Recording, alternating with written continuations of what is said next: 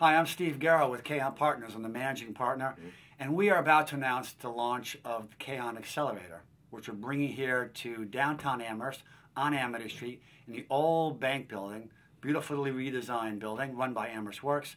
Now, a lot of you have asked me over the past period of time that I've been in town talking about this. What's the difference between an incubator and an accelerator? That's a good question.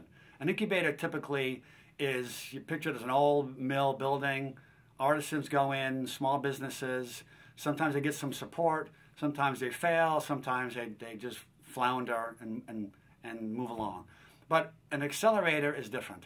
An accelerator is a group like us who we've done this in New York City several times for the past several years. We bring some capital, we bring some knowledge and know-how, a lot of mentorship around this, and a great, really great co-working space. And in a really short, intense, and fast four month period, we will take our, our first class of companies in and hopefully out and launched into something better than what they were before. The idea is to create some really good, successful companies here in this space and launch them out into the world. The teams that we put into our space uh, are carefully chosen by us. We're really careful about what kind of teams and what teams mean. So when we bring in a group or a small company, it could be a team of two, four, five, six, seven people.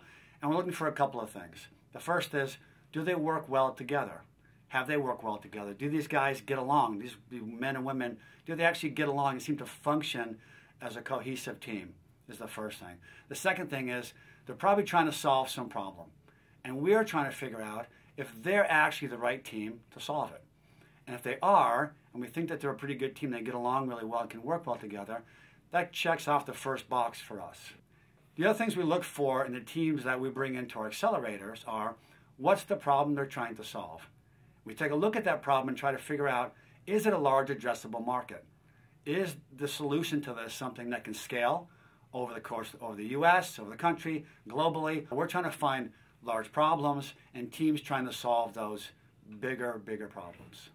The doorway to our system is going to our website, which is kayonaccelerators.com, and fill out the application, and we look at everything. It might be that your company's not ready yet.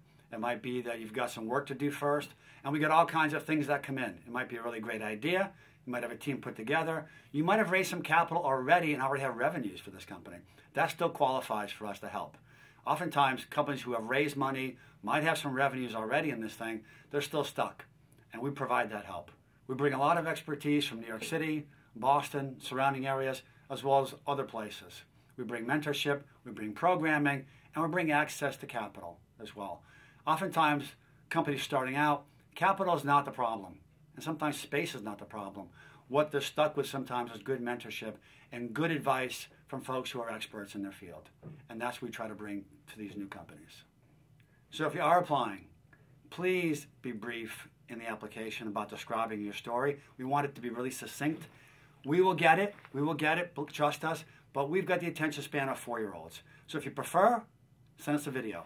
There's a video spot on the application. Use that instead. We will get your story on the video as well. Thanks. We look forward to working with everybody here in town.